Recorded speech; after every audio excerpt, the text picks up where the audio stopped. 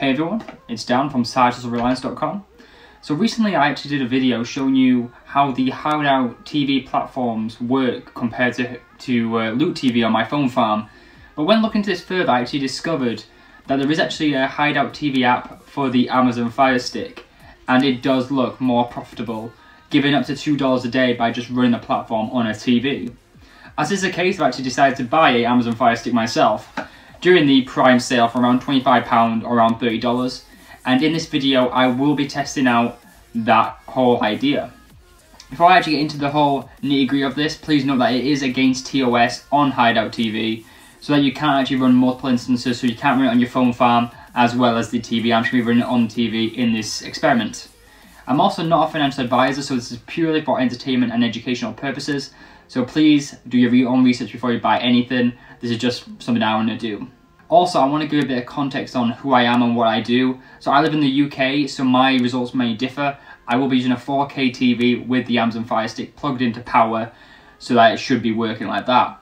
I'll also only be doing the experiment across six hours across a weekday. It's actually a Monday if you are wondering, and that's how we're going to test this out. So let's get right to it. First off, it was actually pretty easy to set up. I just plugged it into the back and I just searched the application, Hideout TV in the App Store and let it install, and then I just logged in.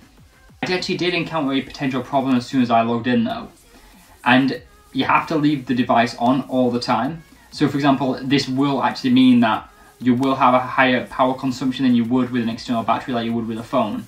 So please be aware of that. I'm starting this video off with 6,047.9 Hideout points. Anyways, I'll see you guys in 6 hours. Six hours later. So here's the results. I actually did run the application for a long time across a six hour period. Normally I would gain around 3.3 hideout points per advertisement on my phone farm, but in this instance, I was actually gaining 10 per advertisement, which is great. Another thing to note is that you do actually have a login captcha on the mobile site between every 4 and 8 hours, but on the TV I noticed that it's every hour or so. On average I was making around 600 points per 24 hours on my Android device, but one thing I noticed with regards to the Hideout TV application, I was only earning 10 Hideout points per 6 hours, which would be around 40 per 24 hour period. What?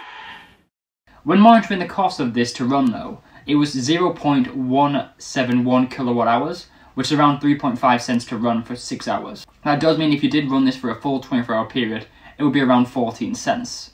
Following on from this, I've actually come to the conclusion that Hideout TV isn't worth doing on the TV. Stick to a phone, the costs are lower, you make more profit, and yeah, it just seems to be a better UI overall. Like I said, I did run the application for 6 hours and I made 10 points. This does mean that my new total is 6,057.9 hideout points.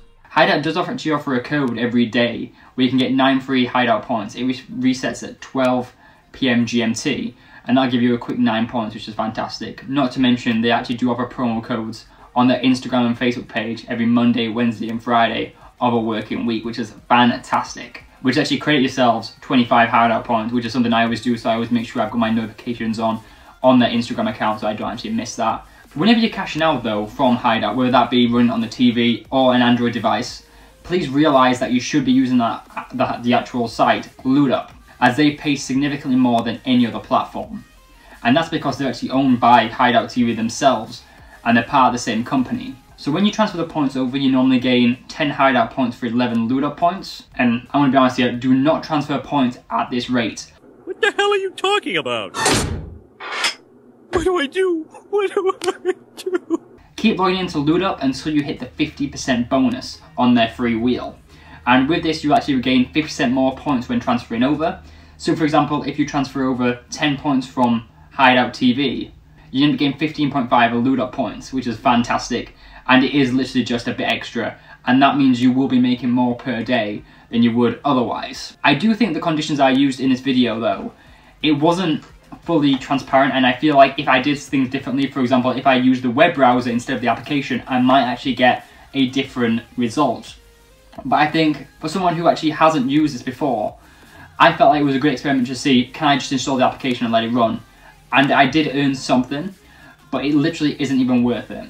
I think if you are going to get an Amazon Fire Stick, just use it for the entertainment side of it, like ITV Hub, Netflix or whatever, or maybe the gaming side of it. But I did actually have a lot of fun exploring that whole idea in this video. And I will keep doing that in other content I, I actually do produce over the next few weeks and months. But yeah, this was just a bit of a, an experiment to see if it is worth doing. In the UK, it's not. It might be in your area, so do your own research if you are going to look into doing this. So yeah, that, that was a bit different. Like I said, I would be happy to explore this again in the future, maybe using the web browser. But then again, I don't think it would be as different results as it would be if I was just using a like a phone in that regard, and then I wouldn't have the actual overhead costs. I wouldn't have to keep logging in. Anyways, thank you so much for watching this video. I hope you enjoyed a little insight. It was a bit different, a bit of a, a quick turnaround. I'm actually in my bedroom for once, yeah. I'm, I'm kind of changing the locations on my videos. If you click right here, you actually get a access to a video I did on my Helium miner, which is a passive way to earn. It's a slow earner, but it's something which works, and it's something I'm really happy with. As well as my recent update onto the Swagbucks guide I did a few months back. There's been a few changes, and if you guys use Swagbucks, it's definitely worth checking it out. Anyways, thank you so much for watching this video. Please like and subscribe, and uh, I'll see you guys real soon. Take care.